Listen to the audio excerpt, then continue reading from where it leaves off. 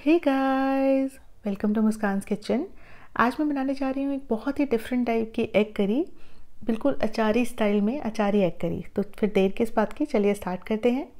इसके लिए सबसे पहले मैंने यहाँ पे एग बॉईल किया है। एग बॉईल मैंने कुकर में किया है। इसमें थोड़ा सा सॉल्ट डाला है, पानी डाला है और एग डाल के सिर्फ़ एक विसल आने तक इसे कुक करेंगे। तो यहाँ पे एग जो है कुक हो गया है। फिर मैंने इसके छिलके हटा के इस पर हल्का सा कट लगा लिया था। उसके बाद मैंने यहाँ पे एक पैन गरम किया है, उसमें मैंने मस्टर्ड ऑयल डाला है और एग्स को फ्राई किया है। इसको हल्की हल्की सी पतली सी एक गोल्डन लेयर चढ़ जाएगी, उतना हमें इसे फ्राई करना है। तो यहाँ देखिए, यहाँ पे एग जो है अच्छे से फ्राई हो गए हैं। अब इसे हम एक प्लेट में निकाल लेंगे। उसके बाद चलिए हम इसका मसाला रेडी करते हैं। मसाला रेडी करने के लिए मैंने यहाँ पे दो टमाटर ग्राइंडर जार में डाला है और साथ में चार पाँच लहसुन की कलियाँ और साथ में एक चम्मच मस्टर्ड सीड्स और ये जो है ना, ये एक अचार होता है मिर्च का, जिसको स्टफ़ करके बनाया जाता है। मैं इसमें ज़रूर डालती हूँ, मुझे बहुत ही टेस्टी लगता है। आप चाहें तो स्किप भी कर सकते हैं, अगर आपके पास अवेलेबल ना हो।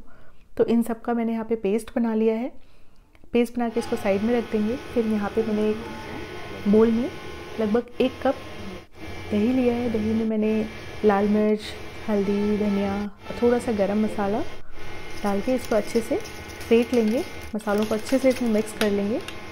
तो इसको हमें साइड में रख देना है, इसका यूज़ हम बाद में करेंगे। फिर जिसमें मैंने एग फ्राई किया था, उसी में मैंने यहाँ पे खड़े मसाले डालने हैं। आपके पास पंच फ़ोरन हो तो वो आप यूज़ कर सकते हैं। मेरे पास पंच फ़ोरन नहीं था तो मैंने ये मेथी, जीरा, तेज़पत्ता, कलौजी और थोड़ा सा मस्टर्ड सीड्स डाल के इसको अच्छे से तड़का लिया है। फिर इसमें मैंने तीन से चार प्याज को एकदम बारीक चॉप कर लिया था और फिर उसको ऐड कर देंगे। साथ में मैंने यहाँ पे सॉल्ट डाल दिया जिससे कि प्याज अच्छे से गल भी जाए और फ्राई भी हो जाए।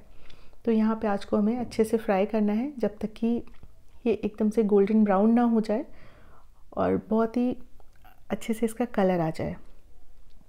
तो ये देखिए, यहाँ पे जो प्याज है मेरी बहुत अच्छे से फ्राई भी हो गई है कुक भी हो गई है और ऑयल भी छोड़ दिया है। तो इस स्टेज पे जो हमने मिक्सर ग्राइंडर में टमाटो वाला पेस्ट रेडी किया था ना, वो पेस्ट इसमें ऐड कर देना है। अब इसको अच्छे से मिक्स कर लेंगे। तो ये देखिए, इसको अच्छे से मिक्स करना है। और जब तक ऑयल ऊपर ना आ जाए, तब तक इसको कुक करेंगे। उसके बाद इसमें मैंने, बाद में जो मैंने एक जो कर्ड के साथ कर्ड और मसालों का जो पेस्ट बनाया था ना, वो ऐड कर दिया मैंने इसमें।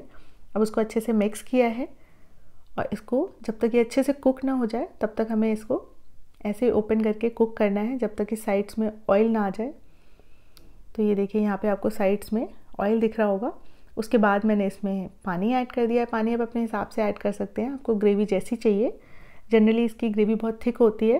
तो मैंने यहाँ पे थोड़ा सा ही पानी ऐड किया है, जिससे कि ग्रेवी बहुत पतली ना बने।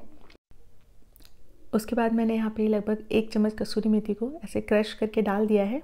और साथ ही में मैंने यहाँ पे जो एग फ्राई करके रखे थे, वो इसमें ऐड कर देंगे, जिससे कि ग्रेवी पकने के साथ साथ एग में जो है ना, मसाले भी अंदर घुस जाएँ।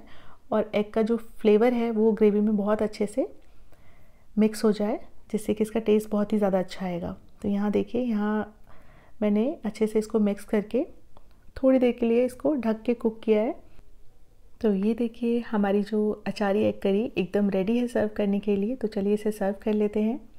आप लोग इसे घर में ज़रूर ट्राई करना और मुझे कमेंट करके बताना कि कैसा लग बना, एक डिफरेंट तरीके की एग करी आपको कैसी लगी। और अगर आप मेरे चैनल पर न्यू हो तो आप मेरे चैनल को सब्सक्राइब कर दीजिए। और अगर आपको मेरी वीडियोस पसंद आती हैं तो प्लीज़ मेरे वीडियोस को लाइक कर दीजिए, शेयर कर दीजिए। Bye bye.